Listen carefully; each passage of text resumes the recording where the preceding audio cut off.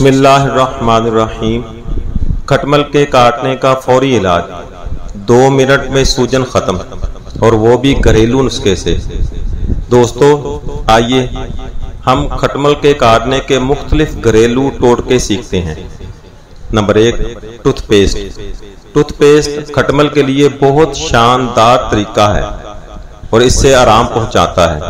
Tooth paste کے اندر پایا جانے والا ایسڈ خارش اور جلن کو کم کرتا ہے۔ یاد رہے کہ اس مقصد کے لیے سفید ٹوتھ پیسٹ ہی استعمال کرنی ہے جل والی نہیں۔ طریقہ، تھوڑا سا ٹوتھ پیسٹ لے کر کٹی ہوئی جگہ پر لگائیں اور دس منٹ کے لیے چھوڑ دیں اور پھر دھو لیں۔ ٹی بیگز، گیلے ٹی بیگز بھی کھٹمل کے دانے پر خارش اور جلن کے لیے بہت کار آمد ہیں۔ اس کے اندر پائی جانے والی بے حص کرنے والی خصوصیات، کھٹمل کے کٹے سے آرام پہنچانے کے لیے انتہائی مددگار ہے طریقہ، ایک استعمال شدہ ٹی بیگز لیں جو سوکھا ہوا نہ ہو، فریج میں رکھ دیں اور تیس منٹ بعد نکال لیں اور کٹنے کی جگہ پر رکھ دیں، پندرہ منٹ تک رہنے دیں، پھر ہٹا لیں۔ بیکنگ سوڈا بیکنگ سوڈا یا سوڈیم کاربونیٹ بھی کھٹمل کے دانے کے لیے بہت مفید ہے۔ اس کی خصوصیت سوجن کو کم کرتی ہے اور کھجلی سے آرام پہنچاتی ہے۔ طریقہ، ایک چائے کا چمچ بیکنگ سوڈا لے کر تین چائے کے چمچ پانی میں مکس کر لیں۔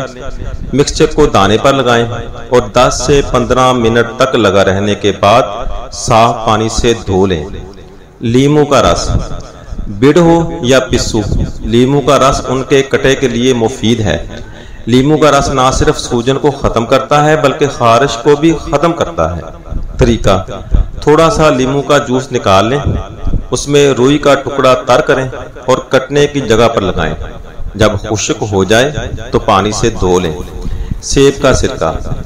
سرکے کے اندر، سرکے کے اندر پایا جانے والا ایسڈ، کھجلی اور خارش کو ختم کرتا ہے۔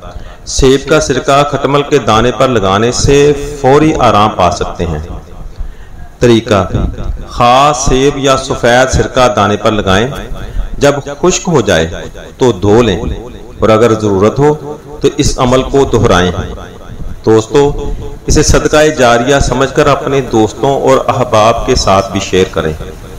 دعاؤں میں یاد رکھیں۔ اللہ حافظ۔